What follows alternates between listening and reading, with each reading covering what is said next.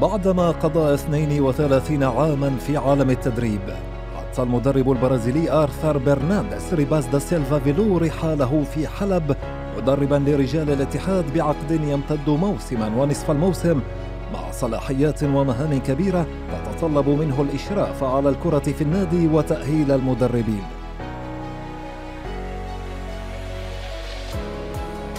ولد آرثر دا سيلفا عام 1955 في مدينة ريو دي جانيرو البرازيلية.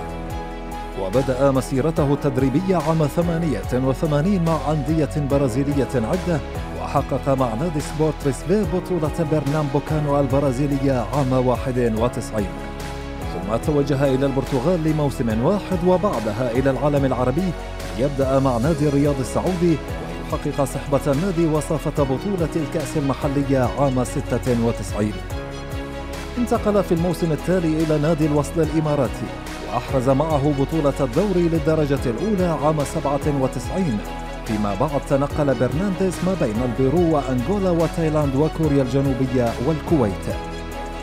حيث درب نادي الكويت الكويتي موسم 2009-2010 وأحرز معه كأس الاتحاد الكويتي وبطولة كأس السوبر عام 2010 آخر تجاربه في العالم العربي كانت مع المجزل السعودي الذي تركه بعد أن هبط إلى الدرجة الثانية لعدم تسديد رواتبه. محطته الحالية مع الاتحاد الحلبي.